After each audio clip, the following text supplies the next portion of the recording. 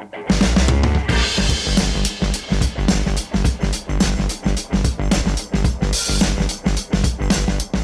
to Inside Liverpool. Liverpool had the best defensive record in the Premier League last season. Still, reports are linking them with a top central defender in the form of Matthijs de Ligt. According to a story covered by Corriere dello Sport, Juventus have been trying to agree a new deal with the Dutch international but thus far they have not succeeded. In such a scenario, Liverpool are one of the top European clubs ready to exploit the contract in pace to sign the 22-year-old central defender.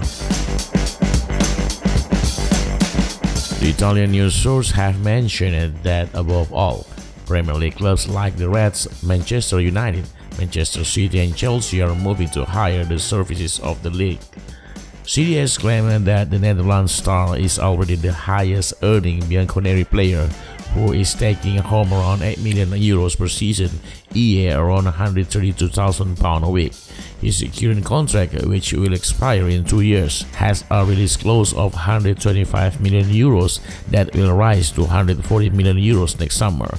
The youngster wants the exit clause to be half 70 million euros in the new deal, but Juve did not agree and the talks have now stalled.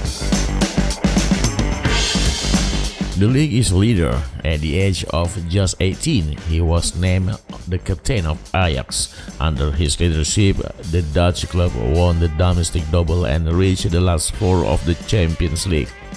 The 37 cap international won the Serie A title in his debut season with the Old Lady and has already won all the major domestic trophies in Italy.